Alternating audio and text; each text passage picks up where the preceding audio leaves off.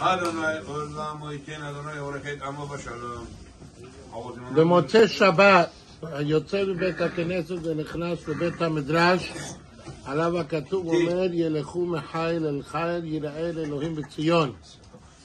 במוצאי שבת, המוצאי שבת, מבדילים ואחר כך מדליקים נר חנוכה.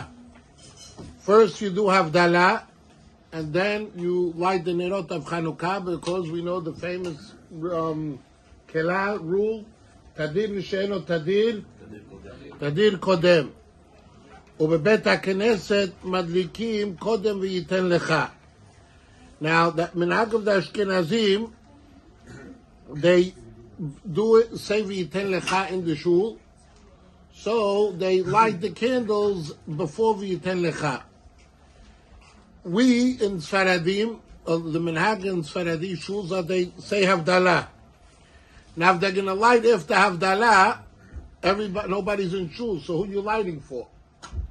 So the reason why we we light before Havdalah or right after the Amidah is because you say Atah Honantanu in the prayer.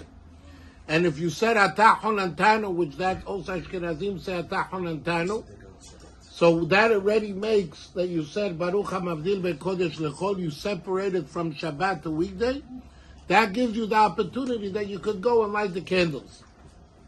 Very important that if a person forgets to say Atah Honantanu, he can't go light the candles unless he says Baruch Hamavdil.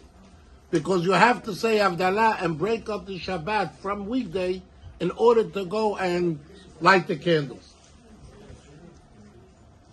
ואם שכח לומר, אתה חוננתנו, יאמר ברוך המבדיל בין קודש לחול, וידליק הנרות, רבי חנניה בן הקשה אומר, רצה הקדוש ברוך הוא לזכות את ישראל, פיקה לכל היום תורה ומצוות שנאמר.